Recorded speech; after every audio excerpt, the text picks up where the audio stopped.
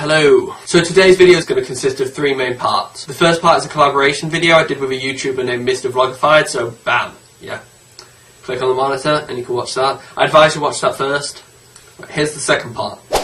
So a while ago I asked for your challenges and the one that kept popping up, which was from these people, was the Ice Cube Challenge. Now for those that aren't aware, the steps to the Ice Cube Challenge are pretty simple. Rules consist of getting two ice cubes, just have the ice cubes in your mouth until they melt. Seems easy enough. So originally I was going to show you the unedited clip, but it was kind of boring. So let's just count how many times I make dinosaur noises. I don't think I'm going to fit these.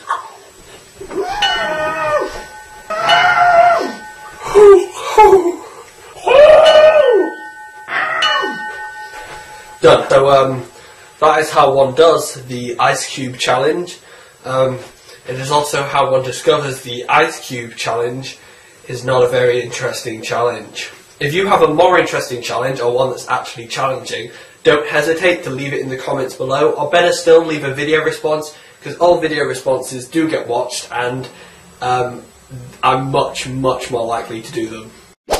So there's this new internet meme that everyone suddenly jumped on board with. So most people by now have heard of the craze of planking. This is the meme where people take pictures of them lying like this and then post them on the internet for some reason. For most people it's a bit of light-hearted fun. The problem is it's gained a lot of hate. And if Rebecca Black has taught us anything, it's that once the trolls appear, you need to GTFO. But instead of just continuing with the planking and ignoring the trolls, or instead of stopping planking because of the trolls, the internet has produced something different. This new trend is called owling. As you look at it, it kind of makes you ashamed of being human. Owling should be the sole argument against evolution, because if natural selection is true, then it wouldn't have come to this. More important than planking or owling is this brand new craze that is just getting started and well, it's amazing. It'll make planking and owling completely ridiculous by comparison. There's this new craze where people are imitating stands. Brings up about 40 million Google images, so I think it's catching on pretty fast.